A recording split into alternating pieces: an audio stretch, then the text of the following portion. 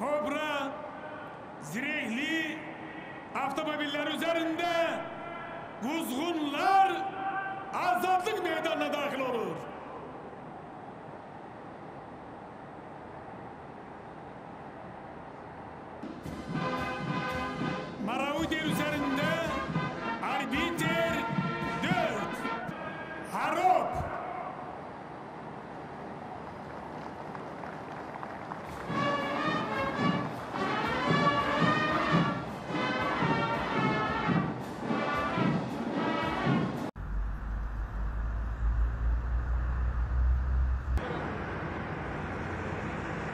Türkiyənin çox böyük dəstəyi oldu. Biz Türkiyə xalqına, Türkiyə millətinə, Türk dövlətinə biz minnətdarlığını bildiririk.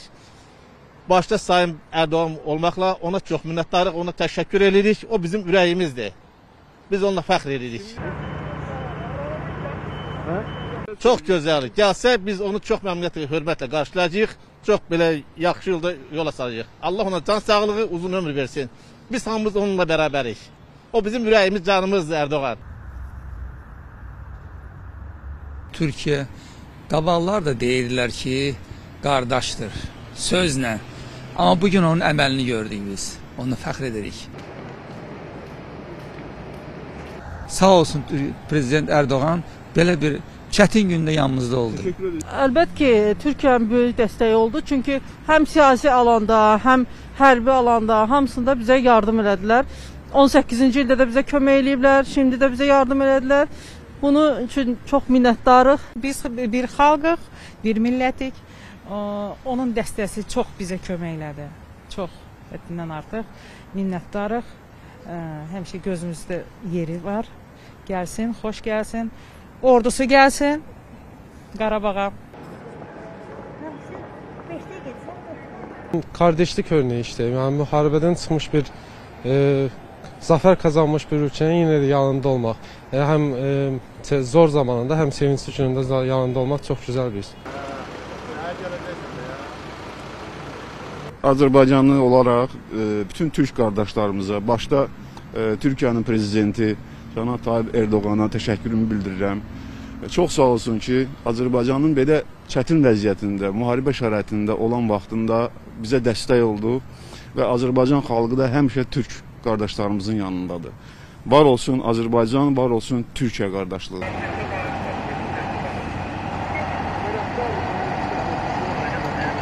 Çok iyi, çok yüksek. Çok iyi oldu. Kardeş ülkelerik. Biz birbirimize daim destek olmalıyıq. 28 ildən sonra ə, Azərbaycan ə, haqlı davasında kimin dost, kimin düşmən olduğunu gördü. Yəni ə, kimin yanında olduğunu gördü və ə, bu ə, minvalla da öz qələbəsini, öz zəfərinə yetişdi.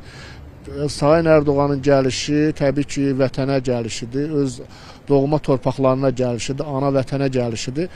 Ə, xoş gəlib, səfa gətirib və düşünürəm, hesab edirəm ki, onların ə, gəlişi Azərbaycan üçün bir bayramdır. E, Sayın Cumhurbaşkanının Azərbaycana bu dəfəki səfəri Azərbaycan üçün önəmli bir günə təsadüf edir və düşünürük ki, e, 44 gün süren savaş döneminde e, Sayın Cumhurbaşkanı başta olmakla Türkiye Cumhuriyeti Devleti'nin, hükümetinin ve Türk halkının Azərbaycan halkının yanında olması bugünkü gündə, zəfər günündə də bu kutlamanı birlikdə e, yaşamamıza bir vəsilədir.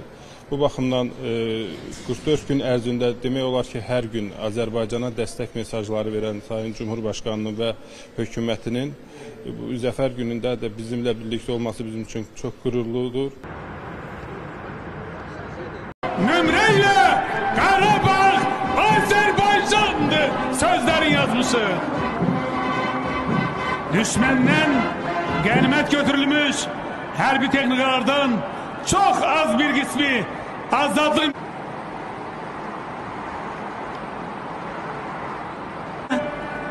20 milimetrelik zenit kurguları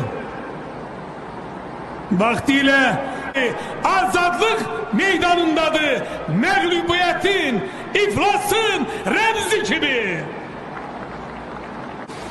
Zenit raket kompleksi Asa 1T.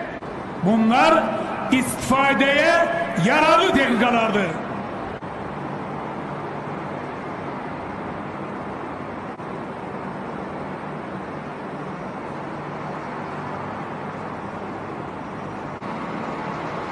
MTLB üzerinde AZP Koşku üzerinde T-72 tankları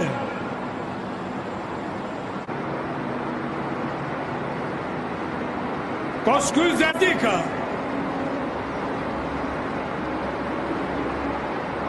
Koşku üzerinde hediyim bir, hediyim iki.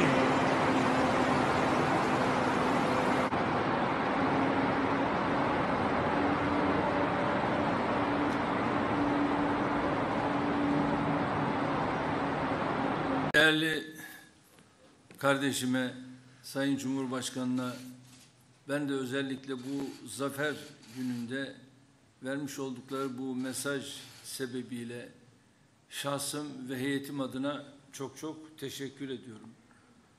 Ve bu zaferin tabii başta bu işin liderliğini yapan kardeşime, onun şahsında tüm Azeri Türk kardeşlerime mübarek olmasını şahsım, heyetim, milletim adına ben de diliyorum ve tekrar tebrik ediyorum. Gerçekten 44 günlük bir savaş sonrasında ortaya çıkan netice Azerbaycan'daki kardeşlerimizi nasıl sevindirdiyse aynı şekilde Türkiye'deki kardeşlerini de sevindirmiştir. Bu gerek şahsımızda gerek tüm milletimizin şahsında yaşanan bir sevinçti.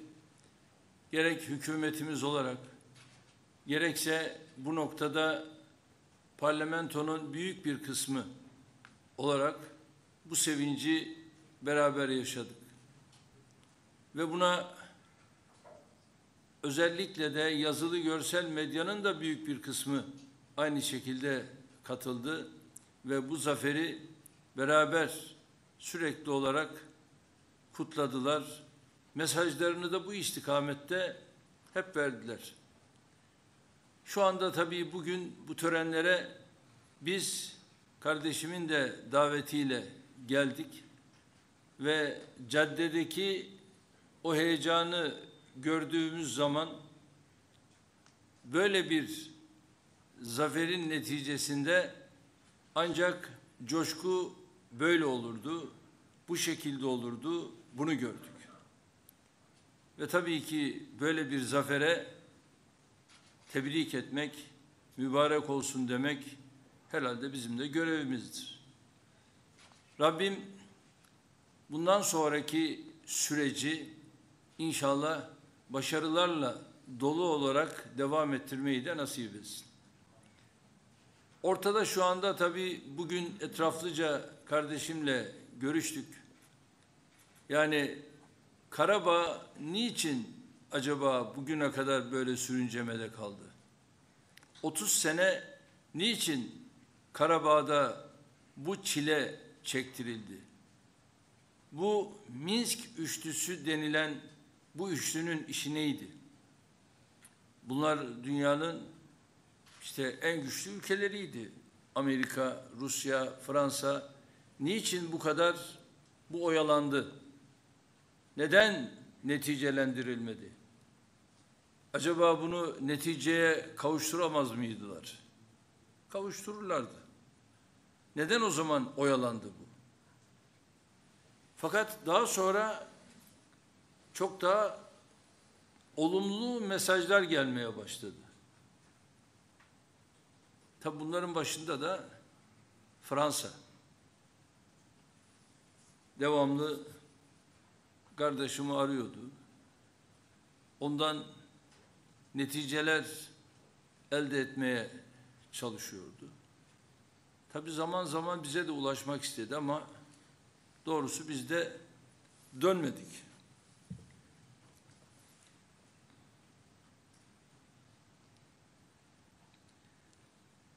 Çünkü biliyorduk ki dert başkaydı.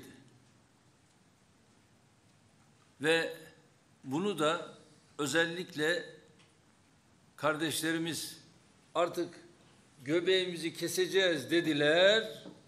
Adımı attılar. Öyle mi?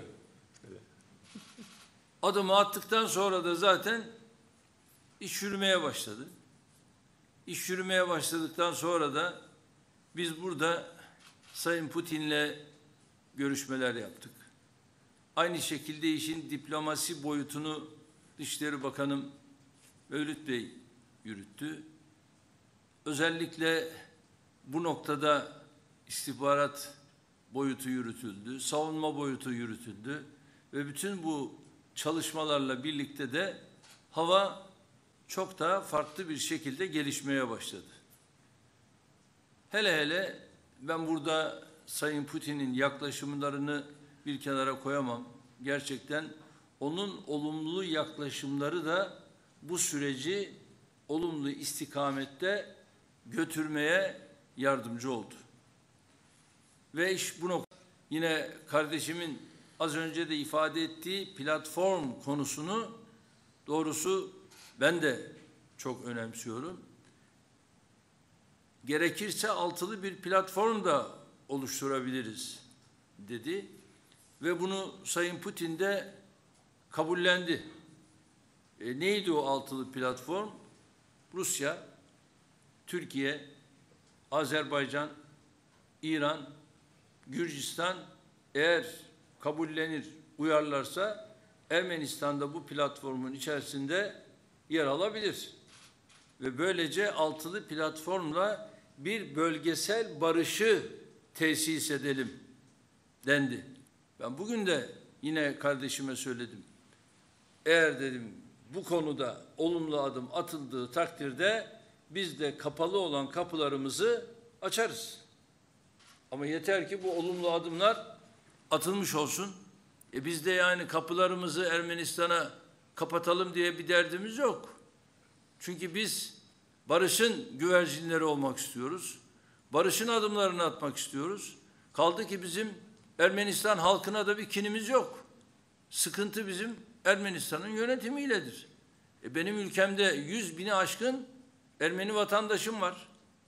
Bunların içerisinde vatandaşlık hakkını elde edeni var, elde etmeyeni var. Ama biz onları dahi ülkemizde ne yapıyoruz? Misafir ediyoruz. Niye? Bizim insanlara bir kinimiz yok. Maksat özellikle bu barışı hakim kılalım, egemen kılalım. Adımı da buna göre atalım. Ama burada tabii liderlikler çok önemli. Yani kalkıp da sen Karabağ'ı kendi meclisinden geçirdiğin bir kararla burası artık devlettir ve biz burayı bu şekilde tanıdık. Deme